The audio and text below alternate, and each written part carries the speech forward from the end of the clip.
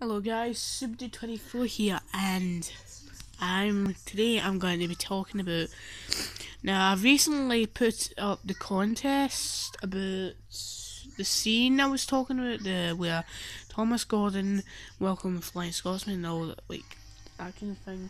Well I'm here to tell you I'm so we're going to so I was gonna mention that I was gonna announce three winners. So I'm picked I've picked out three winners so I'm going to be announcing the three winners.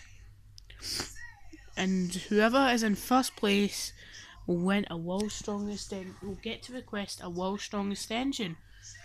So I've got my list here. So in third place goes to the Shooting Star. Well done. So congratulations for winning first, for winning third place. So yeah, you win third place. Second, well, in second place goes to